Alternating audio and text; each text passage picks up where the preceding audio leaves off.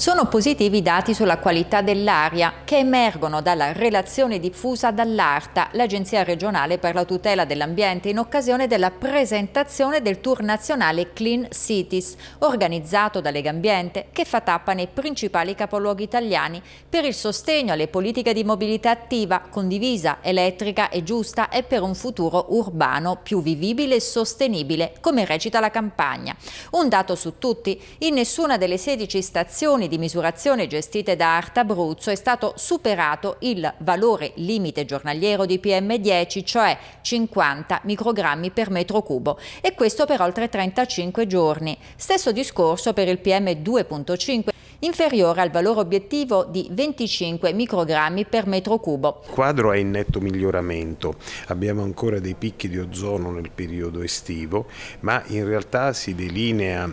e questo è stato anche affermato dal sistema nazionale delle agenzie di protezione ambientale, si delinea un dato migliorativo, dato migliorativo che è conseguenza eh, di un parco macchine sempre più evoluto nel senso di modernizzazione e anche un miglioramento dei sistemi di riscaldamento domestico. L'insieme di questi elementi permette di abbassare il particolato e altri elementi nocivi in atmosfera. Tanto è stato fatto, ma ancora tanta strada resta da fare. E Legambiente ribadisce gli step previsti per arrivare agli obiettivi europei del 2030 anche su Pescare si stanno sviluppando nuove realtà, eh, dal PUMS che eh, diciamo, ha fatto un salto in avanti al tema del biciplan, le piste ciclabili, la messa in rete della mobilità di quei sistemi che ci permettono di migliorare appunto il tema delle emissioni, ma al tempo stesso parliamo della qualità della nostra stessa vita. Questo insieme di progettazioni, accompagnate anche dalle risorse del PNRR nella giusta direzione, ci permetteranno di costruire città più vivibili a partire da Pescara.